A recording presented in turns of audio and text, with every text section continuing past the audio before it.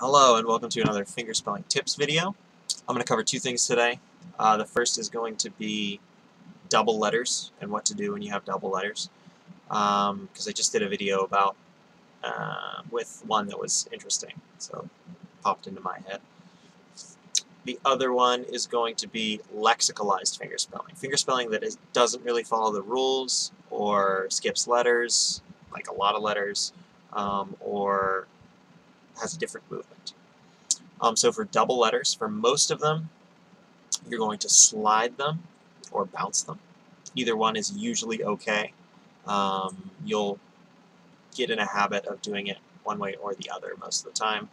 Um, I'm not too sure which one I do. I usually just copy the way my client spells. So if they bounce the letters, I'll bounce the letters. If they slide them, I'll slide them. Um, so example would be tell, T-E-L-L, T-E-L-L. You can bounce the L-L just kind of do it twice. Or you can slide it, T-E-L-L. Um, the one exception to that rule is the letter Z.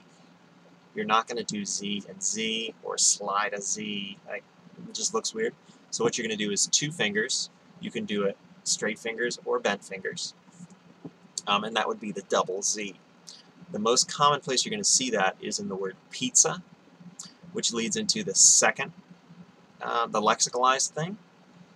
You're going to see a sign that kind of looks like this sometimes, double Z-A, and that is pizza. That is a sign for pizza. Um, it doesn't always get spelled. You can spell it, P-I-double-Z-A, um, but you'll see a lot of people skip the begin the P-I at the beginning, um, and that's called lexicalized because it has this movement that kind of makes it look like a sign, and um, it doesn't use all the letters. Um, there are a couple more examples of that. If, like this, if, where the fingers go up and down, um, that's a lexicalized sign. So it's not exactly if, like it just fingerspelled if, but it's, it's got its own movement. Um, all is another one all, like all the people here, um, because you don't fingerspell with your palm away from you on, or your palm towards you on L. So that's a, another lexicalized sign that you'll sometimes see. Um, and one more is sail. You'll see it kind of done in a circle. Sail. Sail. Um, and that's another one.